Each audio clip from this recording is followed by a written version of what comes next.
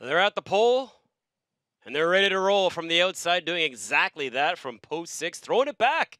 Sand between your toes. The eight year old mare will quickly killer crossover. She's got the lead just like that, but maybe not for long. Right now, three high. Jamieson with Outlaw Fireball. Meanwhile, two high. It's Filion there with just her luck. So they're mixing it up into that first turn. It is Sand Between Your Toes on the lead. Outlaw Fireball hasn't gotten by yet, riding that cover second over. Just her luck. Action aplenty. 27 and 4, a hot first quarter. Hot enough. And it's Outlaw Fireball to take over command, trying to get there. Still hasn't crossed over to the pylons. McNair not releasing that one, and maybe he won't. Three high.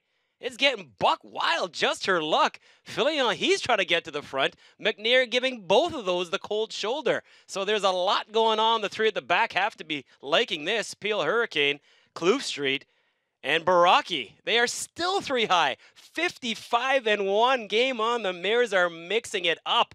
Just her luck by a half length in between horses. That's Outlaw Fireball still with pole position. Sand between your toes. And the Catbird Seed just licking her chops. Peel Hurricane. She's got to benefit from this, you would have to think. Two at the back, uh, losing contact. That's Kloof Street and Baraki. First one to put the cue back in the rack is just her luck. Down along the inside, sand between your toes. Still has command on the outside, still trying. Is Outlaw Fireball. Down along the inside in third, Peel Hurricane. Just her luck, still giving it the old college try.